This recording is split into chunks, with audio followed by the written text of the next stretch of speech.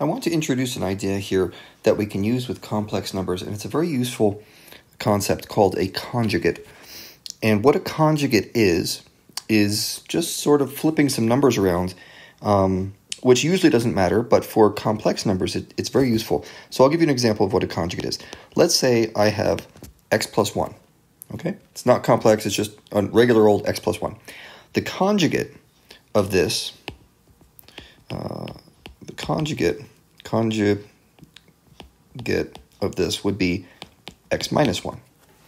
Okay, all you do when you're looking for a conjugate of something is you keep the first term and you flip the sign on the second term. So, if I said 3 minus 5, then the conjugate of that would be 3 plus 5.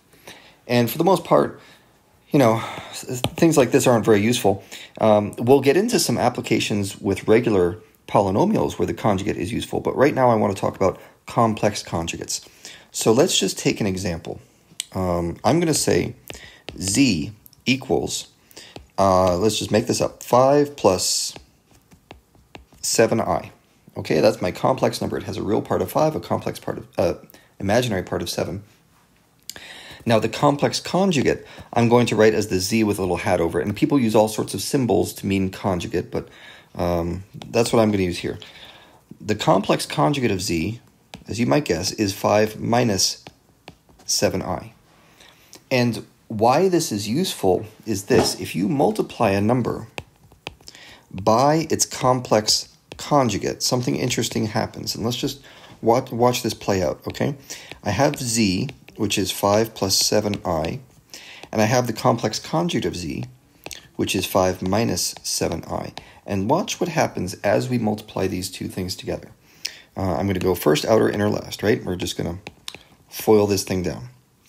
So the first part is 5 times 5, that's 25.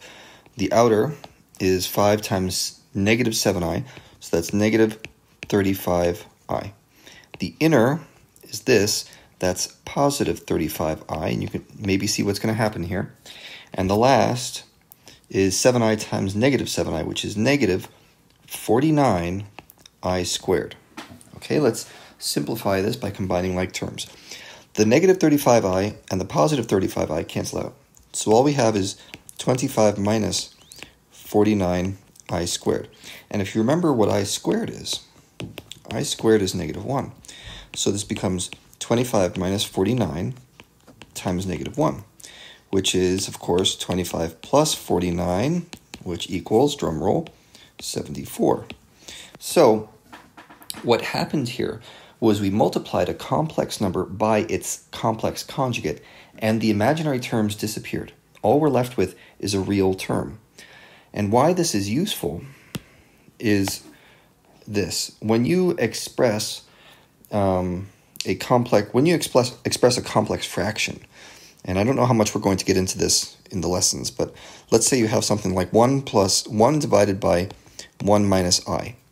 It is not useful for a number of reasons, to have complex numbers in a denominator. That is inconvenient for us.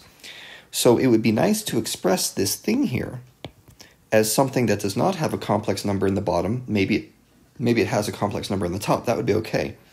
Um, so what you can do is multiply by 1 plus i over 1 plus i.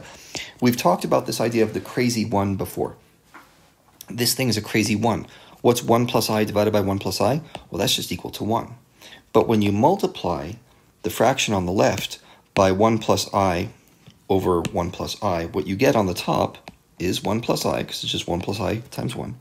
And what you get on the bottom, if you know, you're going to have to go through the math on this, um, but you would get 1 plus 1. Okay, pause the video if you want, run through the math of the complex conjugate of 1 minus i times 1 plus i. You'll get 1 plus 1, and this would be just 1 plus i over 2. And for a number of reasons that we won't get into, this is a preferable form than this guy right here. Okay? Now, this idea of a conjugate goes further than just complex numbers. We'll be using this later in the year when we get into various types of fractions with variables and sometimes fractions that have fractions inside them. Complex conjugates will be useful. uh, there and, and in trigonometry as well. So keep this idea right here of a conjugate in mind.